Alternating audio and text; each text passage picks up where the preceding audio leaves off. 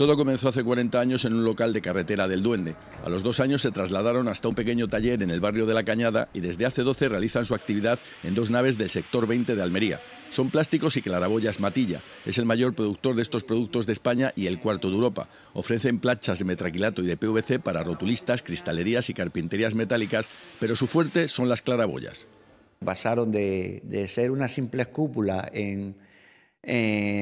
con cuatro tornillos hacer hoy en día claraboyas completas con mecanismos de, apertura eléctrica, comando a distancia, con sensor de lluvia y viento, eh, Agistos, que deja pasar la misma luz pero la mitad de calor. También ponen en el mercado exutorios, que son mecanismos que controlan la temperatura y la salida de humos, que venden a centros y naves comerciales.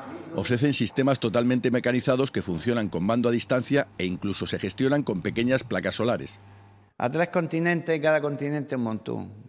Ayer, por ejemplo, se, cerró una operación con, Chile, con un distribuidor que tenemos en Chile, y antes de ayer con, Argelia. Argelia y Marruecos son los, puntos ahora, hoy en día, que más... Argelia, Chile y, Bélgica. También trabajan para el sector de fruta y hortalizas ofreciendo policarbonatos gregados para semilleros.